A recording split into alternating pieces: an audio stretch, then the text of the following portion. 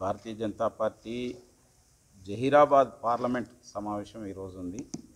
జహీరాబాద్ సంబంధించిన యొక్క core committee assembly core కమిటీస్తో రాజకీయపరమైన విషయాలు సంస్థాగత విషయాలు చర్చించడం కోసం సమావేశాన్ని ఏర్పాటు చేసుకోవడం జరిగింది. ముఖ్యంగా ఈరోజు రాష్ట్రంలో పరిపాలన చేయడంలో కేసీఆర్ ప్రభుత్వం పూర్తిగా వైఫల్యం చెందింది. ఆయన పరిపాలనను గాలికి వదిలేసి కేవలం రాజకీయాలు చేయడం కోసం ఆయన పార్టీని దేశంలో ఎట్లా ఇది చేయాలి? మంత్రులు అయితే ఏ విధంగా డబ్బు సంపాదించుకోవాలనే ఆలోచన తప్పితే వారి వారి యొక్క మంత్రివర్గ విషయాలపైన వాళ్ళు ఏమాత్రం శ్రద్ధ చూపడం లేదు. దానికి నిదర్శనమే ఈ యొక్క టీఎస్పిఎస్సి పేపర్ లీకేజ్ ఒకటి కాదు రెండు కాదు ఇప్పటికీ ఇంటర్మీడియట్ లీకేజ్ అయిపోయింది ఎంసెట్ లీకేజ్ అయిపోయింది తర్వాత ఇప్పుడు ఇది లీకేజ్ అయింది. దీన్ని కూడా ప్రభుత్వం గుర్తించలేదు.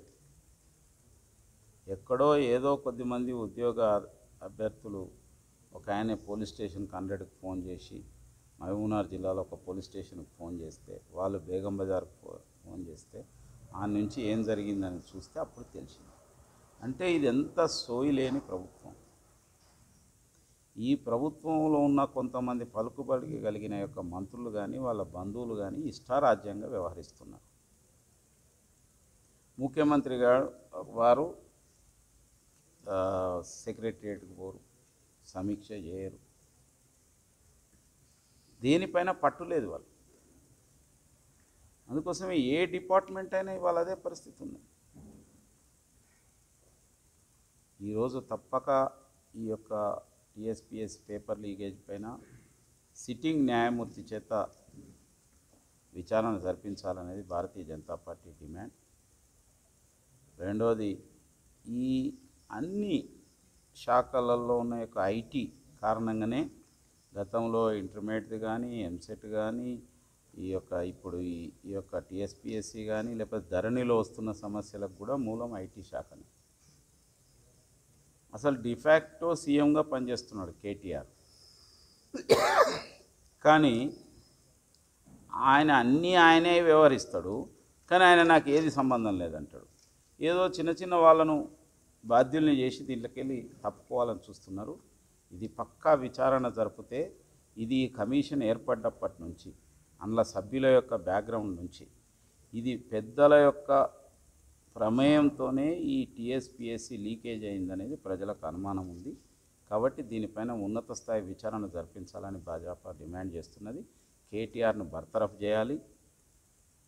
లక్షలాది మంది ఉద్యోగార్థులు మానసిక క్షోభకు గురవుతున్నారు. వాళ్ళు వాళ్ళ కుటుంబాలు. మళ్ళీ వాళ్ళు ఎగ్జామ్ రాయాలి కాబట్టి వాళ్ళకు ఒక్కొక్కరికి ఒక లక్ష రూపాయల నష్టపరిహారం ఇవ్వాలని భారతీయ జనతా పార్టీ డిమాండ్ చేస్తుంది. అసలు తెలంగాణ ఏర్పడ్డదే నిధులు నియామకాలు నీళ్ళ కోసం. నియామకాలు అనేది ఇన్ని రోజుల నుంచి రాలేదు. వచ్చిన దాన్ని ఇంకా వాళ్ళు సద్వినియోగం చేసుకుందామంటే ఇట్లా ఆగం చేసేసి మొత్తం చేసిందంటే టోటల్ ఫెయిల్యూర్ అయిపోయింది ప్రభుత్వం. నువ్వు ఎంత ప్రాధాన్యత అంశాన్ని ఇంత లైట్గా తీసుకుంటున్నారు. ఏదో ఒక ఇద్దరు వ్యక్తుల కారణంగా ఇద్దరు వ్యక్తుల కారణంగా జరగకుంటుండడం కోసం ఇంత ప్రభుత్వ యంత్రాంగం. ఇంతమంది మంత్రులు ఇంతమంది అధికారులు ఇన్ని డబ్బులు ఖర్చు పెట్టడం ప్రజాస్వామ్యం. దానికి నువ్వు చేయలేదంటే మీలో మీకు సంబంధించిన వ్యక్తులకే అందులో ప్రమేయం ఉన్నదని స్పష్టంగా తెలుస్తున్నది.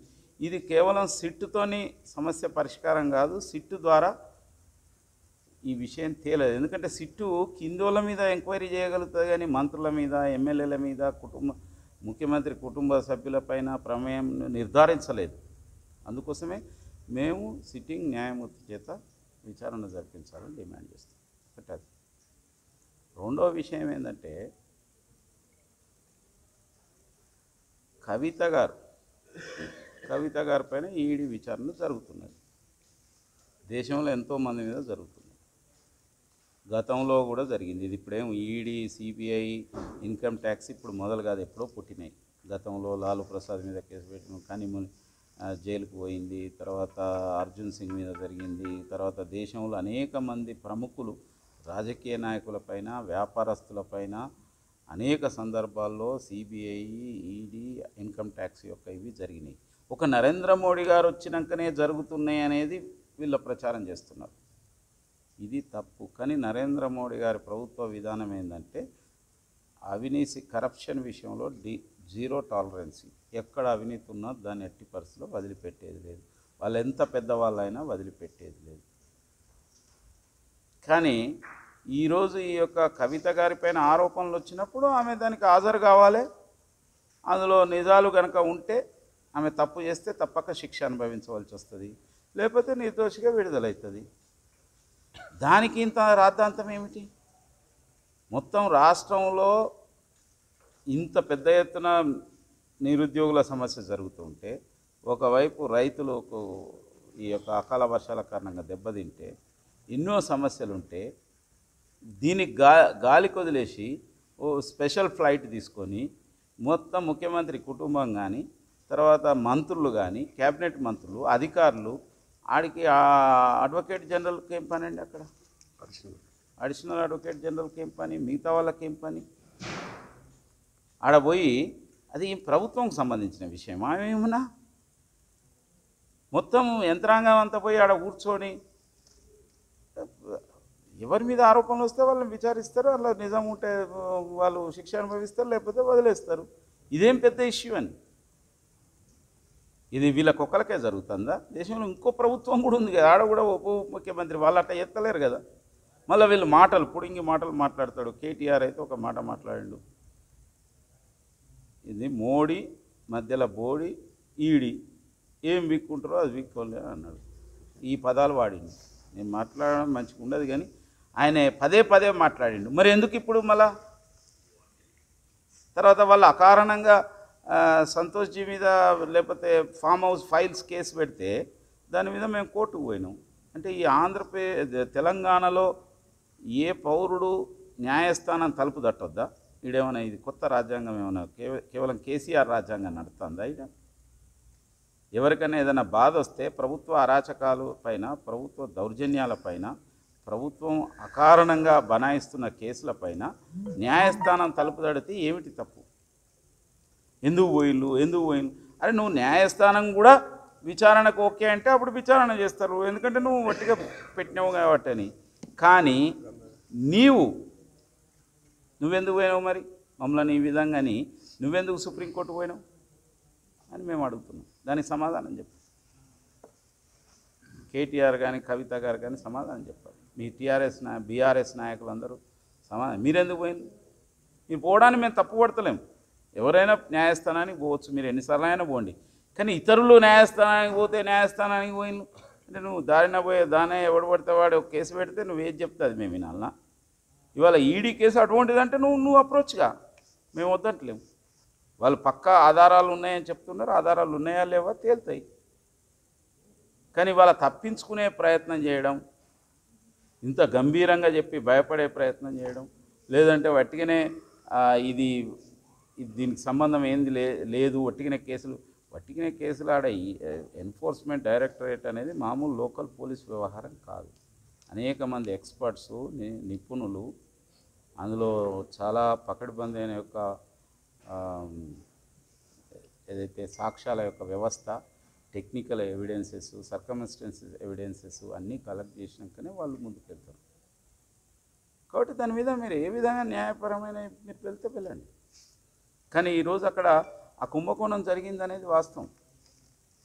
ఎవరు బాధ్యులు అనేది తెలవలసి ఉంది దానికోసం వాళ్ళు ప్రయత్నం చేస్తున్నారు. ఈరోజు వందల కోట్లు ఇక్కడ తెలంగాణ నుంచి తీసుకుపోయి వేరే దగ్గర పెట్టినా అంటే తెలియనియండి అది. ముందే మీరు ఏం లేదు ఏం లేదు ఏం లేదు మాకేం సంబంధం లేదు. అరే అందులో ఉన్న వాళ్ళందరూ చెప్తున్నారు కదా. కాబట్టి న్యాయ వ్యవస్థ మీద ముందు చట్టం ముందు అందరూ సమానమే. ఎంత పెద్దోళ్ళైనా చట్టం తన పని తాను చేసుకొని పోతుంది. దాన్ని ఎదుర్కోవాల్సిందే. మీరు మరో రకంగా ఇక్కడ ఏదో అరాచకం సృష్టిస్తాం మేము ఇది చేస్తాం అది చేస్తామంటే ఈ తెలంగాణ ప్రజలు సహించే స్థితిలో లేరు. ఎందుకంటే తెలంగాణ ప్రజలకు మీరు చేసిన యొక్క ద్రోహం ఇంత అంత కాదు. కాబట్టి ఈ విషయంలో తెలంగాణ ప్రజలందరూ అప్రమత్తమై ఉన్నారు. మీ యొక్క అవినీతి చర్యలకు మీరు చేసిన యొక్క కోట్లాది రూపాయల యొక్క అవినీతి తెలంగాణకు జరుగుతున్న నష్టాన్ని వాళ్ళు చూస్తున్నారు. దీన్ని ఏదో తెలంగాణ సెంటిమెంట్తోనే ముడిపెట్టే యొక్క ప్రయత్నం చేస్తున్నారు. ఏంటంటే తెలంగాణకే అవమానం. అరే ఒక వ్యక్తికి జరిగితే తెలంగాణకు అవమానం ఏంటండి తెలంగాణలో మస్తు మంది. అంటే తెలంగాణ ప్రజలు ఏమన్నా మహిళలు ఏమన్నా లిక్కర్ వ్యాపారం చేయమని చెప్పిందా? ఇది తెలంగాణ ప్రజలకు తలవంపు కాదా అంటున్నా. తెలంగాణ ప్రజలకు తలవంపు తెచ్చే పని మీరు చేసిండు ఢిల్లీ వీధులలో తెలంగాణ పరువు తీసేసిండు బీఆర్ఎస్ నాయకులు మీరు తీసేసిండు కాబట్టి దానికి తప్పక మీరు భరించవలసిందే మూడో విషయం ఏంటంటే ఇవాళ అకారమైన యొక్క అకారణంగా అకాల వర్షాలు కురిసినాయి. పెద్ద ఎత్తున నష్టపోయింది. పాపం రైతులకు నోటికాడికి వచ్చిన యొక్క ఇది మొక్కజొన్న కావచ్చు వరి కావచ్చు కొన్ని చోట్ల పసుపు కొన్ని చోట్ల మిగతా పంటలు ముఖ్యంగా ఉద్యానవన పంటలు ఈ యొక్క మామిడి ఇలాంటివి దీనికి గతంలో కూడా ప్రభుత్వం నష్టపరిహారం ఇస్తానన్నది. కానీ ఇంతవరకు ఇవ్వలేదు ఈ విషయంలో ఇప్పుడు కనుక ప్రధానమంత్రి ఫసల్ బీమా యోజన కనుక అమల్లో ఉండి ఉంటే ఇవాళ వీళ్ళందరికీ నష్టపరిహారం వచ్చింది. ప్రధానమంత్రి ప- ఫసల్ బీమా యోజన దేశమంతా కూడా అమలు జరుగుతున్నది. ఈ రాష్ట్రంలో కూడా గతంలో ప్రారంభంలో అమలు జరిగింది. అనేక మంది రైతులకు నష్టపరిహారం వచ్చింది. దాంట్లో ఉన్న యొక్క మంచి విషయాలు ఏంటంటే ప్రధానమంత్రి ఫసల్ బీమా యోజనలో రైతులు చెల్లించే ప్రీమియం కేవలం వన్ పర్సెంట్. సెంట్రల్ గవర్నమెంటును స్టేట్ గవర్నమెంట్ కలిపి మిగతా ప్రీమియాన్ని చెల్లిస్తాయి. సెంట్రల్ గవర్నమెంట్ ప్రీమియం చెల్లిస్తున్నది. కానీ కేవలం స్టేట్ గవర్నమెంట్ ప్రీమియం ఇవ్వకపోవడం వలన ఇవాళ రైతులకు నష్టపరిహారం వస్తలేదు. ఎటువంటి విధంగా ఉంది ప్రధానమంత్రి ఫసల్ బీమా యోజనలో? కరువు కారణంగా కానీ ప్రకృతి వైపరీత్యాలు కానీ ఇటువంటి యొక్క వడగండ్ల వర్షంలో వల్ల కానీ తర్వాత ఇతరత్రా ఏదైనా చీడ పీడలు లేకపోతే భూకంపం ఇట్లా ఏదైనా వచ్చి దెబ్బతినడం కానీ తర్వాత తాను పంట కోసిన తర్వాత మార్కెట్ తీసుకుపోయి అమ్ముకునే యొక్క పదిహేను రోజుల వరకు కూడా నష్టపోయినా వర్తించే యొక్క నిబంధనలు ప్రధానమంత్రి ఫసల్ బీమా యోజనలో ఉన్నాయి. అంటే మనం చూస్తున్నాం అక్కడక్కడ కళ్ళాల తీసుకుపోయిన తర్వాత మొత్తం వర్షం పడి నీళ్ళలో దానికి కూడా నష్టపరిహారం వచ్చే యొక్క నిబంధన ప్రధానమంత్రి ఫసల్ బీమా యోజన ఉంది. ఇవాళ నువ్వు కనుక అది అమలు పరిస్తే ఇక్కడ ఈ రైతులకు కోట్ల రూపాయలు లాభం జరిగేది. ఇవాళ రైతులకు నోట్లో మట్టి కొట్టిన యొక్క ప్రభుత్వం కేసీఆర్ ప్రభుత్వం.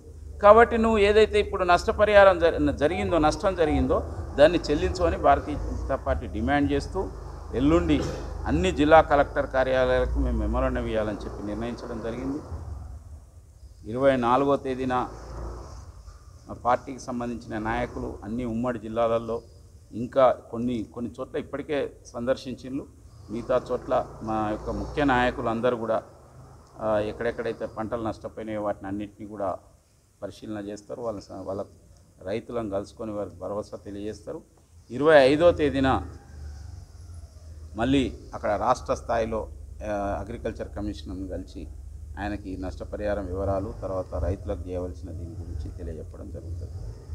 కాబట్టి ప్రభుత్వం ఏంటంటే కంటి తుడిపి చర్యగా మాట్లాడడం మేము నష్టపరిహారం అంచనా వేస్తాం మేము బృందాలను పంపుతున్నామని చెప్పడం. నేను ఒకటే అడుగుతున్నా సెంట్రల్ గవర్నమెంట్ సిద్ధంగా ఉంది. మీరు కనుక రాస్తే వాళ్ళు వెంటనే గతంలో హిస్టారికల్గా ఎప్పుడో ఒకసారి రాష్ట్ర ప్రభుత్వం రాస్తే సంవత్సరానికి వచ్చేది సెంట్రల్ బృందాలు. రాష్ట్ర ప్రభుత్వం రాసినాక పదిహేను రోజుల లోపల గతంలో వచ్చి సందర్శన చేసినాయి. వాళ్ళు నివేదిక ఇస్తారు వాళ్ళు తప్పక అటువైపు నుంచి తప్పక సహాయం అందుతుంది. కానీ ఇక్కడ చేయవలసిన పని రాష్ట్ర ప్రభుత్వం చేయవలసిన అవసరం ఉన్నది. మేము సైతం ఇవాళ కేంద్ర ప్రభుత్వానికి మా పార్టీ వైపు నుంచి మా పార్టీ రాష్ట్ర అధ్యక్షుడు కేంద్ర మంత్రి వైపు నుంచి మేము తప్పక మా వైపు నుంచి కూడా మేము వారికి విజ్ఞప్తి చేస్తాం. కేంద్ర బృందాలు త్వరగా ఇక్కడ పర్యటించే విధంగా. కానీ ముందు అఫీషియల్గా రాష్ట్ర ప్రభుత్వం దానికి సంబంధించిన యొక్క నివేదిక కేంద్ర ప్రభుత్వానికి పంపించాలని చెప్పి రైతులను ఆదుకోవాలని చెప్పి భారతీయ జనతా పార్టీ డిమాండ్ చేస్తున్నారు.